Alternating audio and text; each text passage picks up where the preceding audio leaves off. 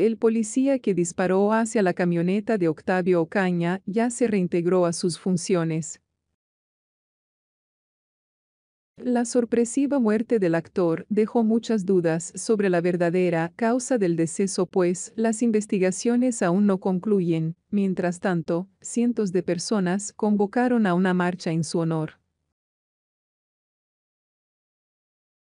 Octavio Ocaña tenía 22 años cuando falleció en un incidente violento en su propia camioneta. El verdadero motivo de su deceso aún no termina de esclarecerse, pues sus padres decidieron continuar con la investigación y negar la versión oficial sobre las causas de su deceso.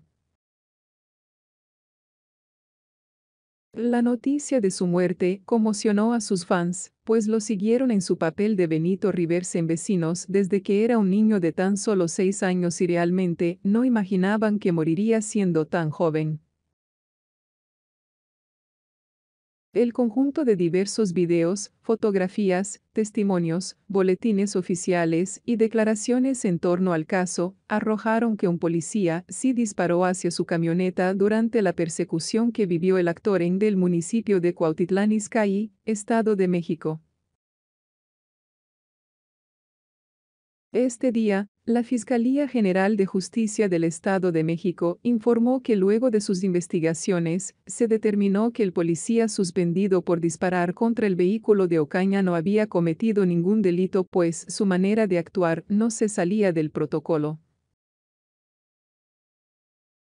El policía que se reincorporó a sus actividades declaró que abrió fuego en contra de la llanta trasera de la camioneta de Octavio Ocaña para que se detuviera, lo que entra entre sus funciones de patrullar dentro del municipio. Algunas hipótesis sobre la muerte del actor señalaban a dicho elemento de seguridad pública como el responsable del deceso de Ocaña, sin embargo, la Fiscalía General Judicial del Estado de México reportó que, según las investigaciones realizadas, Benito habría sido el mismo causante de su muerte, pues el balazo que recibió lo habría disparado él de forma accidental. Ya que esta versión no la aceptó la familia y exigieron continuar con las investigaciones, nuevas imágenes siguen surgiendo.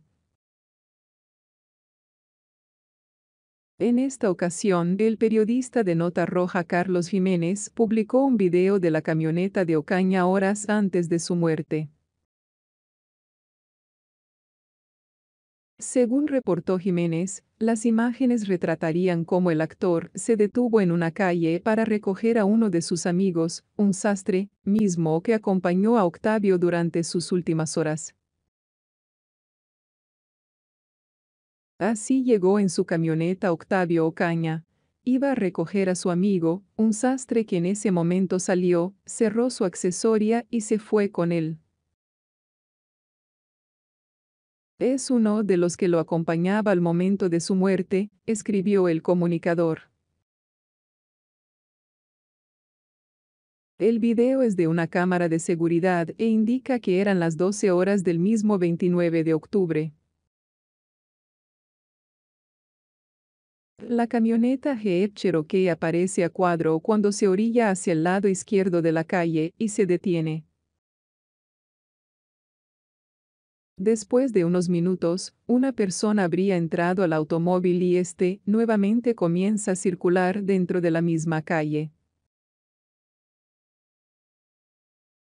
Según reportó la FGJ del Estado de México, el Ministerio Público llevó a cabo entrevistas a los dos acompañantes, en particular quien iba en el asiento del copiloto refirió que habían estado consumiendo bebidas alcohólicas, y cuando circulaban por calles de Cuautitlán Izcalli, policías municipales les marcaron el alto, sin embargo, Octavio aceleró la marcha de la camioneta para evitar ser detenido.